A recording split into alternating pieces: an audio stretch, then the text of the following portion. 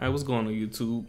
Um, I just kind of want to give you guys my thoughts and opinions on this whole PS4K Neo, PS4K, PS4.5, PS4K greatness awaits machine, whatever you want to call it. But first off, where have I been?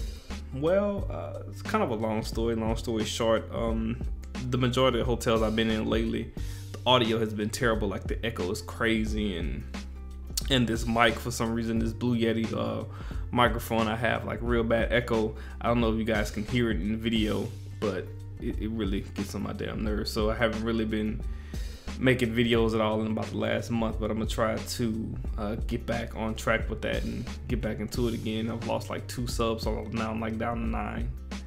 But you know, I, I know I wasn't gonna get a thousand subscribers overnight, so I just gotta be more, um, be more consistent you know, with my content and stuff like that. But anyway, on to the point. So it's come out that um, there will be a upgraded P, uh, upgraded PS4, kind of like the the PS3 Slim was, kind of like a a mid cycle refresh. But instead of just being smaller and maybe more efficient, it's gonna have upgraded hardware. And you know, from what I'm reading, as far as the CPU, it's just uh, basically the same CPU, just overclocked. I don't know, it doesn't have any kind of um, improved uh, word am I what word am I looking for? I'm drawing a blank. Any kind of uh, improved efficiency, anything like that? I don't know. But and the memory is is still 8 gigs GDDR5, but the memory is a little bit faster, going from going from 176 gigabits per second up to 218 gigabits per second, which is a pretty good jump. But I think that the biggest selling point is the GPU upgrade, it's still going to be AMD GCN architecture, of course, but it's going from 18 compute units at 800 megahertz all the way up to 36 compute units at 911 megahertz. So the rumor mill is right now that it might be a Polaris based GPU, which is possible because I think Polaris and um, Polaris and I can't think of the name of Intel's new GPUs that are coming out. They they are supposedly releasing June May time. I mean May June time frame, which I doubt, but it's it's possible.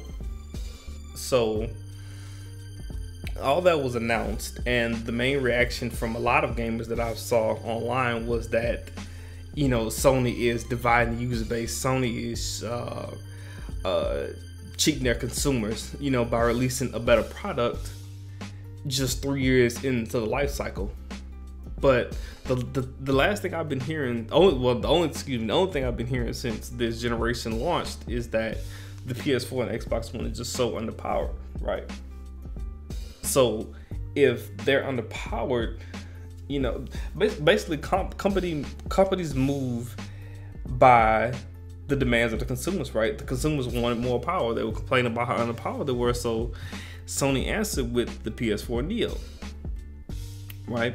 So a couple of rules that I was reading about is is they're basically gonna have the exact same games, just one may, may have better resolution, a better frame rate. That's it.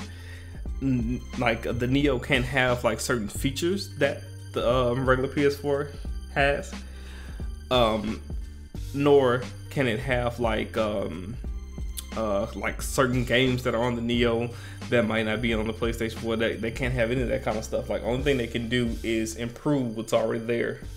For example, if if a game has uh, split screen, uh, like two way split screen co op or something like that, it can have four way uh, split screen co op or shit. I don't know if if a game is ah, I don't know, but anyway, basically it's the exact same game. There will be no there will be nothing on the Neo that's not on the base model PS4. So I don't really understand like where the outrage in itself comes from.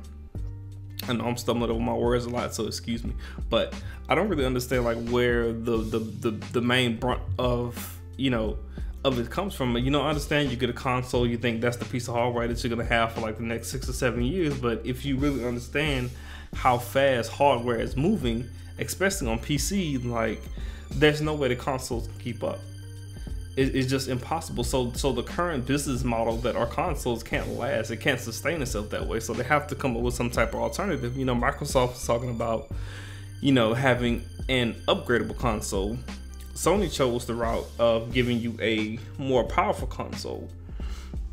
instead of you know upgrading one piece by piece because I mean if you if you're taking a console apart upgrading parts piece by piece you really might as well get you a PC you know but that's why I mean in in any other realm of electronics if you're an early adopter into something you can bet that right after this is gonna be always always gonna be something better than what you have right I have a 2016 Mazda as soon as the 2017 Mazda 6s come out, guess what? There's something else better than what I have. I'm not, I'm not gonna call Mazda and be like, hey, you know, I'm mad. You released a better version of what I have. That's just not how it works. That's not how it goes. You know, I have the S7 Edge, just got it. But I know in a couple of months, the Note 6 is gonna come out and completely blow this phone out of the water.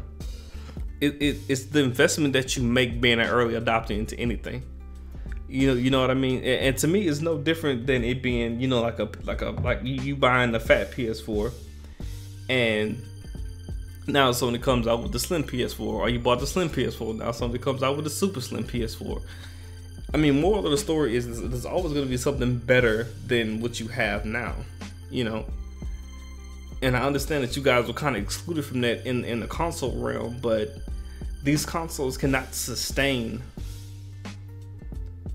where they're at now for a whole generation. They just can't. I mean, come on now, this game is barely hitting 1080p 30 frames per second. Especially on the Xbox One, games rarely ever hit 1080p 60 or 1080p 30 frames per second unless it's like an Xbox One exclusive, right?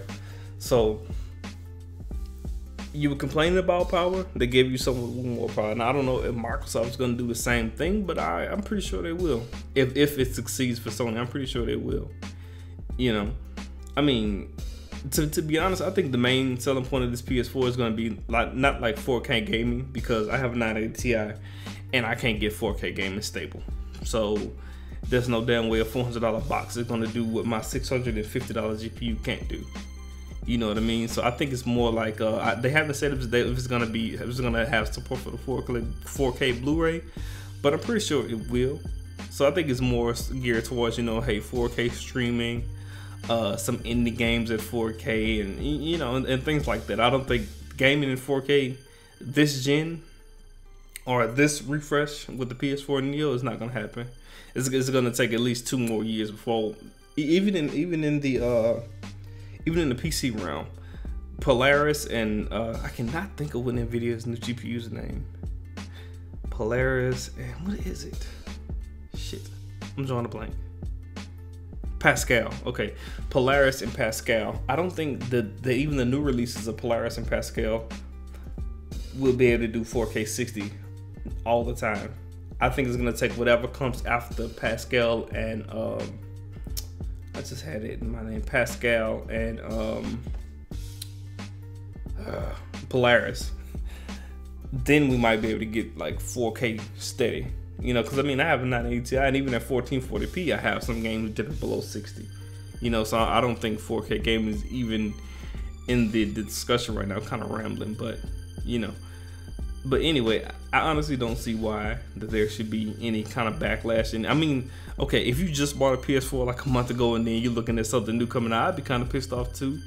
You know what I mean? But with in, in the electronic world, especially, there's always going to be something better than what you have. Always.